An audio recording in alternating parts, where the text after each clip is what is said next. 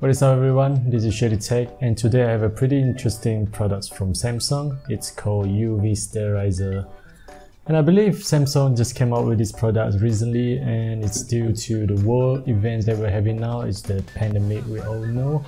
So uh, I guess guess this is a pretty nice touch that Samsung uh, made these products. As far as I know, you cannot get a lot of information about these products and can wait pre-order of uh, Note 20, Samsung Note 20 in Malaysia. I read a little bit of uh, specifications and what these products do. And I read to you guys a little bit.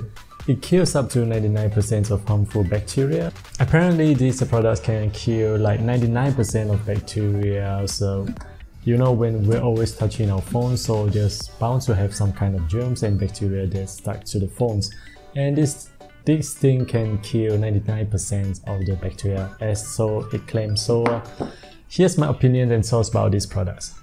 So let's get on with the unboxing of the products. The product just consists of a single USB to USB-C cable and that's pretty much it. You have to find yourself a wall charger. And I believe if you have these products, usually you come with the uh, phone or some other accessory from Samsung. So Yep, this is just like an extra cable for you to power these things.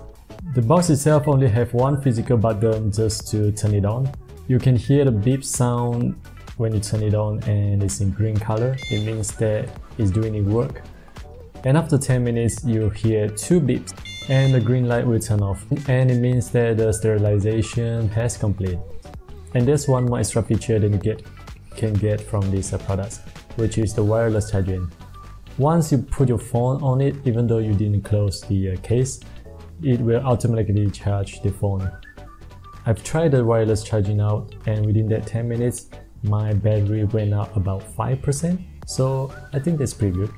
Overall, I think this is a pretty interesting product in my opinion. Even if you didn't use it for sterilizing, you can still use it to wireless charge your phone as long as your phone can support wireless charging. So you have it. UV sterilizer from Samsung. And this is Shady Tech. I'll see you guys in the next video. See you soon.